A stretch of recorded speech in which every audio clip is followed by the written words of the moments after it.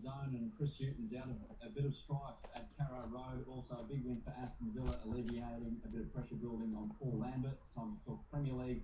Right now, we'll go to Darren Lewis, our mate from the Daily Mirror over in London. And Darren, we'll start with the London club. Big news out of there this morning, I'd say, is surrounding a certain decision by Andre Marriner meaning that West Brom get out of London without three points that they probably deserved in the end. What's the reaction been like for the two-all draw at Stamford Bridge? The reaction has been huge, guys, over here. The lucky one on the back page of the Sunday Mirror.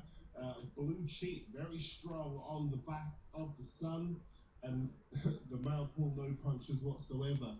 Dive, dive, dive is their headline because there is so much anger that West Brom were not able to pull off their first victory in the league at Stamford Bridge since 1978. They'd already done it at Manchester United. And, you know, they got off to such a good start. You know, um, Samuel Eto'o scoring uh, in the first half, but they replied West Brom in the second half, Shane Long with a header, and then they went ahead through Sessegnon, and they were rocking Chelsea. Look at this goal from Stéphane Sessegnon, exposing poor defending at Stamford Bridge, guys. Uh, that is terrible goalkeeping, wouldn't you say? It is, and I was just going to ask you, Darren, um, Mark Schwarzer retired this week uh, from the Socceroos, but if, if continues like that, how long will it be um, until uh, until Jose Mourinho uh, puts him in as number one? Well, it's a really good question because Thibaut Courtois is the Belgian goalkeeper on loan at Atletico Madrid.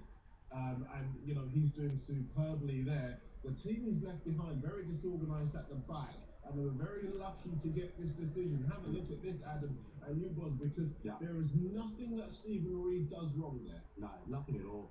He just keeps along uh, his, his path and, uh, and I think Ramirez knows he's not going to get the ball, runs into him. And uh, again, what we were talking about before with, with being influenced by home decisions, I think the, the referee's just being influenced completely and given a penalty, a shocking decision. Well, Jose Mourinho now unbeaten in 66 Premier League games at Stamford Bridge, so uh, his record continues. However, Darren, I'll just uh, give you a look at this. Uh, this is Jose Mourinho when he actually uh, got unveiled as uh, once again, the happy one, if you like. What about him after this one, the stressed one? My God, it like he hasn't slept in about four weeks.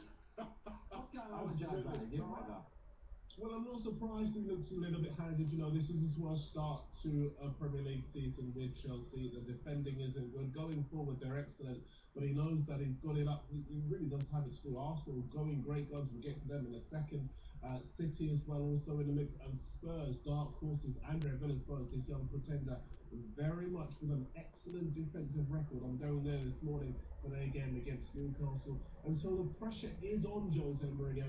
It's not as easy to do it as it was the first time round. And I think that accounts for the reason he looks a little bit as though he could do with a nice meal and a hot bath. Hmm. And uh, just a quick one. One team he didn't mention in that little group was Southampton. Winners again. 4-1 uh, yesterday. Uh, Pochettino's having a fantastic time there. Their best start uh, to a top flight season to get the Premier League any top flight season, largely because of the contingent of young, talented players and experienced pros that Pochettino has put together. Rickie Lambert, you know, he scored with all of his 33 penalties for Southampton, called up again to the England squad this week. So too this man here, Adam Lallana, Look at this for close control and finishing. Guys, what do you think of him? Outstanding player. I think they've got an outstanding side. And, and we see now, we're well into the season. I said this last week, Adam. You know, after, you know, when you're talking about after a quarter way through the season and they're still up there in the, in the top of the, now the third, I think it is. Um, they're going to be there and thereabouts. They're a fantastic side who are very well managed. Yeah, Adam Lallana came through the youth setup at Southampton with guys like Gareth Bale uh, and Theo Walcott and guys like that. So it's producing players that finally held on to one who's producing good things for his club.